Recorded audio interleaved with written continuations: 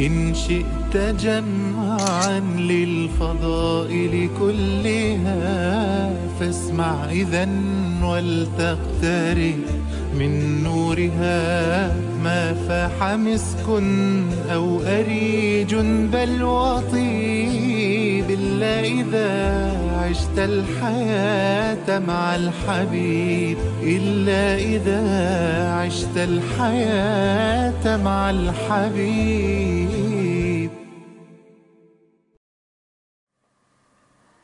السلام عليكم ورحمة الله وبركاته. بسم الله والحمد لله والصلاة والسلام على رسول الله صلى الله عليه وآله ومن والاه وصية غالية في ليالي قوية.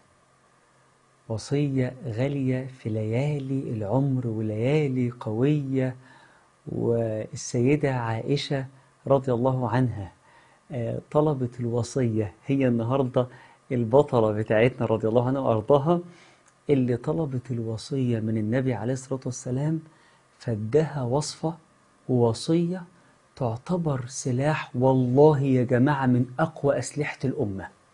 والله سلاح لو تسلحنا بيه وصدقنا مع ربنا بيه ترفع الغمة وينصلح حال المسلمين ويرجع لنا الأقصى وينفك الكرب وترفع الغمة. قالت له رضي الله عنها يا رسول الله أرأيت إن وافقت ليلة القدر؟ سألت السؤال ده في رمضان. يا رسول الله أنا لو أنا لو حسيت إن أنا الليلة دي مش عادية إن في سكينة وحاسة بالملائكة وشواهد ليلة القدر باينة ولقيت نفسي كده في تجليات مع ربنا. إن إن وافقت ليلة القدر فماذا أقول؟ قال لها يا عائشة الحقي نفسك واستغل الفرصة واستخدمي سلاحك وقولي اللهم إنك عفو تحب العفو فاعف عني. اطلبي من العفو اطلبي من المجيب يا عائشة. يا جماعة يا مسلمين ربنا قال أمن يجيب المضطر إذا دعاه. ملناش حد إلا ربنا. الهموم زادت على الأمة قوي. حال أهلنا في غزة السودان ال- الغمة في مصر وسوريا وليبيا واليمن؟ ما- أزفت الأزفة ليس لها من دون الله كاشفة. ملهاش إلا ربنا. وإذا سألك عبادي عني فإني قريب أجيب. والله قريب والله مجيب والله عفو والله قدير سبحانه وتعالى. ربنا آه ربنا ليس كمثله شيء. محدش يقول قصدي إحنا عندنا ذنوب فربنا مش هيتقبل مننا. لا طبعا. ربنا بيتقبل من أي حد يدعيه بس بيقين وإخلاص وحسن ظن في الله. النبي علمنا وقال لنا صلى الله عليه وسلم ليس شيء أكرم على الله من الدعاء. الدعاء غالي عند ربنا. رفعت إيدك دي غالية عند ربنا وإيدك مش هتنزل. إلا وربنا جابر بخاطرك وجابر بخاطر الأمة إن الله حي كريم يستحي أن يرفع إليه العبد يديه فيردها صفرا خائبتين شوف يا جماعة النبي صلى الله عليه وسلم في الأزمات كان بيعمل إيه؟ كان في غزوة بدر لما لقى المشركين أعدادهم أضعاف المسلمين رفع إيديه واجتهد ودعا ربنا اللهم إن تهلك هذه العصابة فلن تعبد في الأرض بعد اليوم، اللهم أنجزني وعدك الذي وعدتني واجتهد في عبادة الدعاء عشان يعلمنا الاجتهاد في الدعاء.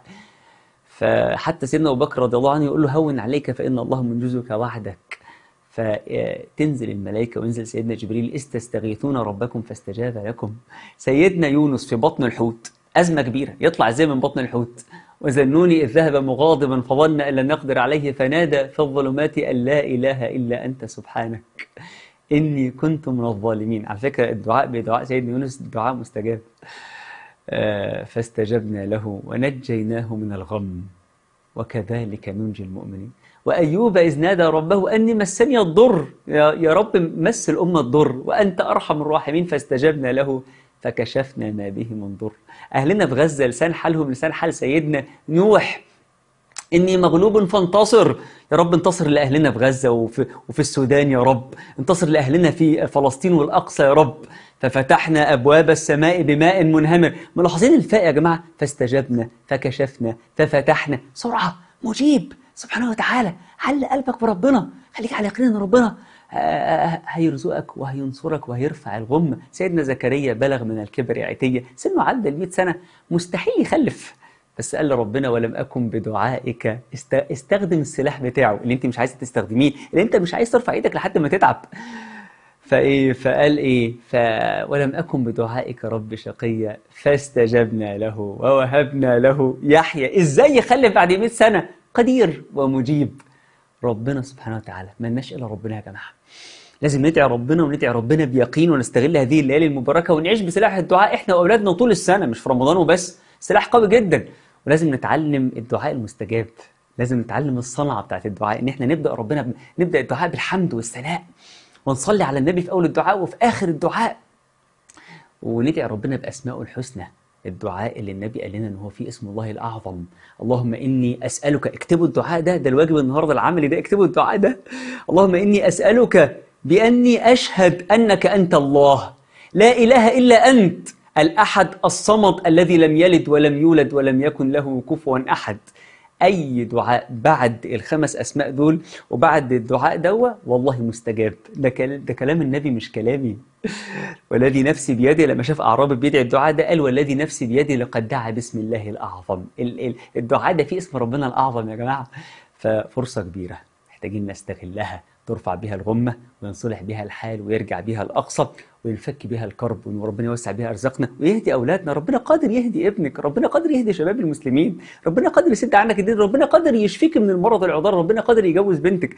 ربنا قادر وربنا مجيب. بس إحنا نلجأ ليه وندعوه دعاء المضطر. الكراسة بتاعتنا بسرعة. يلا وصايا حبيبنا صلى الله عليه وسلم. وصايا حبيبي هات آخرك في الدعاء وارفع إيدك لحد ما إيدك تتعبك وتوجعك.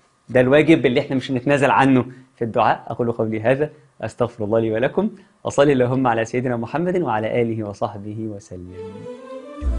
إن شئت جمعا للفضائل كلها فاسمع إذا ولتقترب من نورها ما فاح مسك أو أريج بل وطيب إلا إذا عشت الحياة مع الحبيب إلا إذا عشت الحياة مع الحبيب.